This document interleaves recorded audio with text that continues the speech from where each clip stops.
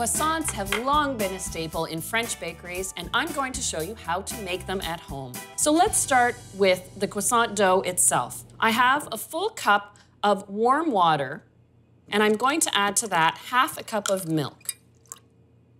Croissants can take up to a couple of days to make, but they are well worth the effort. Add three and a half cups of all-purpose flour.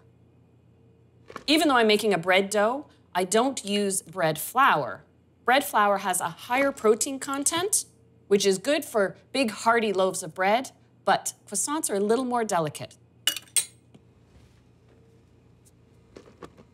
I'll add five tablespoons of sugar. Sugar is actually what the yeast feeds on as it slowly rises. And now for the yeast. This is instant dry yeast, two and a quarter teaspoons. The final ingredient is a teaspoon and a half of salt, but I add that after I get the mixer going. Salt can actually kill yeast activity. After the dough is mixing, it's fine to add.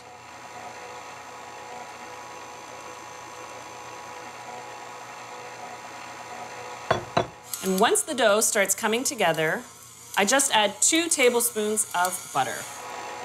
I let the dough knead for just a couple of minutes to develop the glutens, the proteins that's going to hold in all the air as the yeast rises.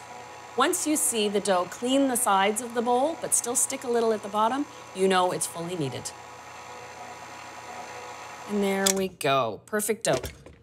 The yeast dough stage is called the détrempe. And now, let it rise not in a bowl, but on a parchment-lined baking tray. Cover it with a tea towel. That gives it some air and room to move. And then, so it doesn't dry out or get a crust, just a loose piece of plastic right on top, just like so. I leave this to sit out for about an hour and a half at room temperature. Then to control how the yeast grows, I put it in the fridge. And now you can let it rest as short as an hour or up to eight hours. You really do have a great window of time. Just remember, the longer that yeast has to ferment, the better the flavor you get out of your croissants. Now it's time for the beurrage, the butter layer. And guess what's in it? Just butter, a cup and a quarter of it. And then just simply use the plastic wrap to flatten it into a square shape. I'm starting with room temperature butter now but I do have to chill it down a little bit. So I've got my two parts, the détrempe, the bread dough, and the butter.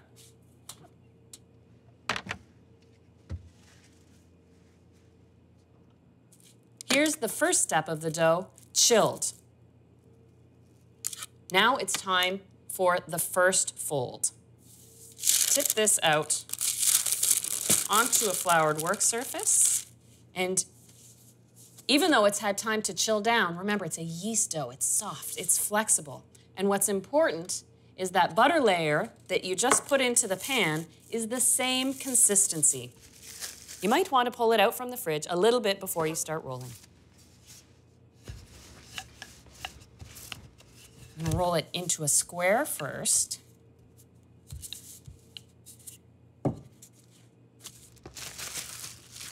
I tip out onto the soft bread dough. So what I do is just package up the butter like a parcel. Fold in the dough edges, and then just roll it out into a long rectangle. The butter's getting pushed in between the dough layers. And now for the first fold. This is called a trifold or threefold. You can definitely feel the weight now of the added butter. This goes back on the tray. And I just cover it back up with the tea towel. You let rest in the fridge for a minimum of an hour, but if you can push it to a maximum of eight hours, you're just gonna get that better flavor and the flakier, crisper crust on the outside of your croissant. So this is the dough after its first fold but after resting for eight hours. And you have to work with it from this point on with the dough being cold. And with this second fold, you will feel, as you roll the dough, the bits of butter flaking and shattering within it. And the folding technique is the same as with the first folds.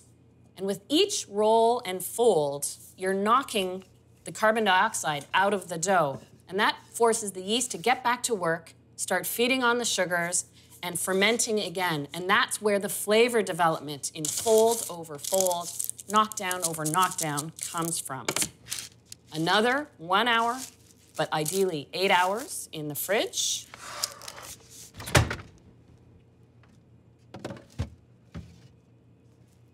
Now that we've made this buttery croissant dough, it's time to get rolling and make some classic croissants. The traditional plain, a cheese, an almond croissant, and pain au chocolat.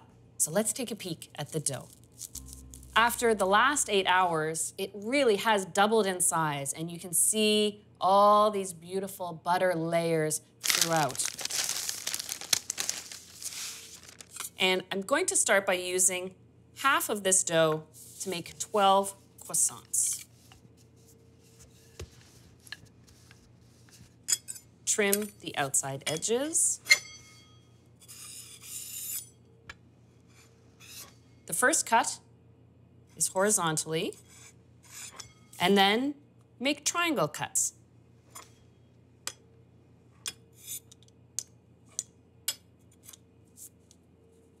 An important little step is just to make a notch at the base of the triangle. That allows you to roll it more easily, but it also bakes evenly in the center. Open at the notch a little bit, and with just a gentle stretch, let the dough do the work.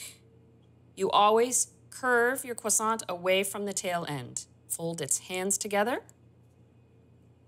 and that is a classic croissant. And with this rolling and then shaping, you're adding even more folding to create those flaky layers. Let's do the cheese style.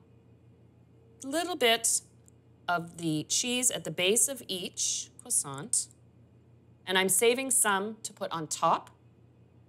And then the same step applies, but you have to do a little lift and then open that notch before you do the traditional roll and fold.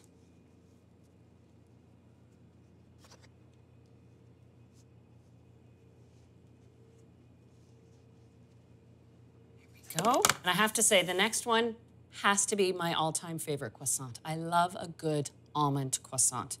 So to make an easy marzipan, I just take a couple of tablespoons of ground almonds, about a tablespoon and a half of sugar, and then just two teaspoons of soft butter, just a couple drops of almond extract.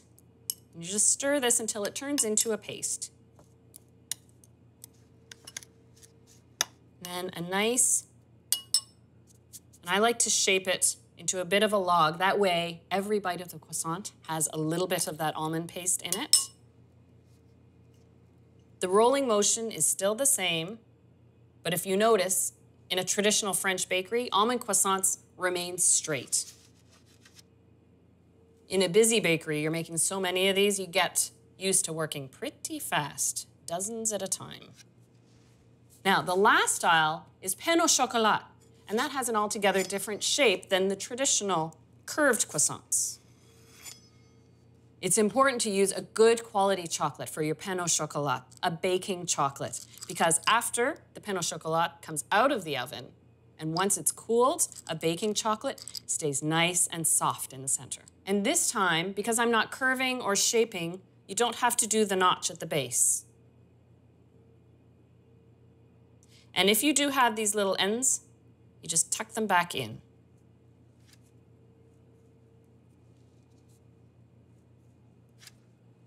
And as much as you want to put them in the oven now, there's a little more waiting involved. And the final proof should happen in a warm, draft-free place. So I have my rack by the oven. It really encourages that yeast to come to life. And these have risen for two hours and they are ready for the oven. So just the finishing touch. On my classic plain in the cheese, just a brush of egg wash, a little egg mixed with a little water, makes the croissants shiny and promotes an even browning. And so you can easily tell the plain from the cheese, a little of that reserved cheese right on top. To tell you that there's marzipan inside, little sprinkle of sliced almonds on the almond croissant. For a nice little crunch on the pain au chocolat, little sprinkle of turbinado sugar. Finally, this is the quickest part of the croissant recipe. In a 375 oven, these only take about 15 minutes.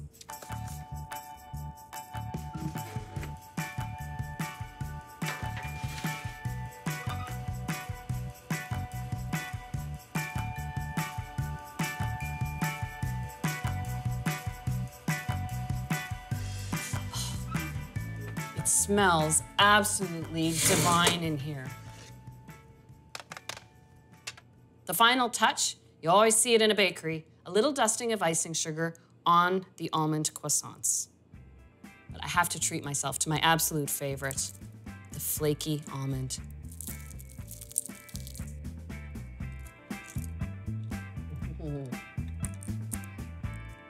That was worth waiting for.